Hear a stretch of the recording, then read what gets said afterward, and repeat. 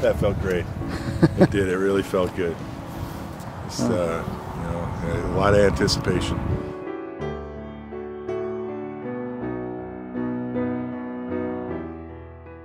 I was miserable, absolutely miserable. I mean, I gave up golf, I gave up hunting, I gave up working around the house. I was paying people to mow my lawn and shovel my sidewalk. And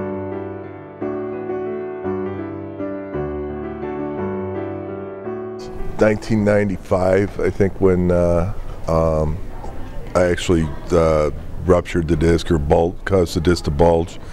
And so, you know, I was riding on that sciatic nerve and, and giving me a lot of, a lot of pain. I, I asked my uh, family physician to give me a referral um, to a surgeon, and uh, he referred me to Dr. Lennarson and uh, I tell you, I, I, was very at ease the minute I met him. Um, obviously, uh, knew exactly what he was talking about. Um, gave me the uh, the options of, of uh, how they could perform the surgery. Well, for, for other uh, traditional surgeries where we want to remove that disc and fuse the uh, spine, it's frequently done making an, an abdominal incision, which does create a, a, lot more pain initially and then also uh, longer recovery.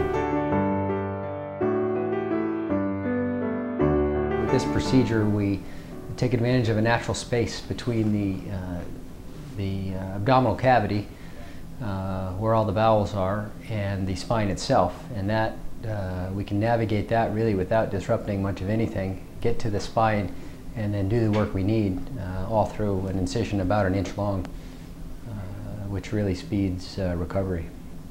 In this procedure, even though we're working on the front of the spine, uh, the patient is on their stomach for the entire procedure, and through uh, the small incision down here uh, by the tailbone, we navigate up in front of the spine and uh, end up creating a channel through the front of the spine into that disc. And then just through a, a, a very small tube, end up uh, initially putting our bone graft uh, into where that disc used to be and then uh, are able to pass uh, one of these uh, threaded rods uh, up through that area where the disc was to firmly fix those bones together. so that's what this looks like on an x-ray. the surgery was an absolute success. I mean, I, I think I knew the minute I woke up. And I was only in the hospital for a couple days. I mean, I was up walking later the same day, I think. Uh, this wouldn't this wouldn't fit uh, everybody's problem. Uh, even if it looks like it uh, might be a good uh, procedure for a particular problem, you also have to consider the anatomy uh, and other factors that relate more to safety of the procedure.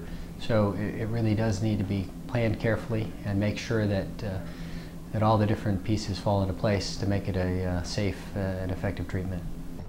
My last appointment with Dr. Lennarson, um, you know, he had seen the X-rays had shown the, the, the, bone growth and, and everything, and and uh, basically told me I was pretty much good to, to try anything I wanted, and, and I brought up the mention of golf, and he said, "Well, I'm not going to tell you." No, he said, but the the, the twisting, you know, um, is is probably the most stressful thing, and and uh, he told me it would be nine to twelve months before the the bone fully grew in and everything. And I thought, well, you know, I mean, I've basically given it up for two years. What's what's a few more months? And uh, so I figured I would uh, would wait, and so March 31st will be the anniversary of the surgery. So uh, April 1st, I will be on the course.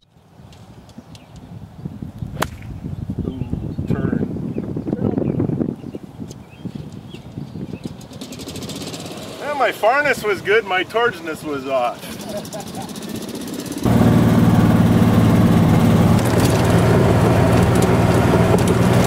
I mean, just to be able to to get out and do this and, and uh, you know, I mean, I played a lot of golf in the past, so to be able to get back to that is really one of my main hobbies. So.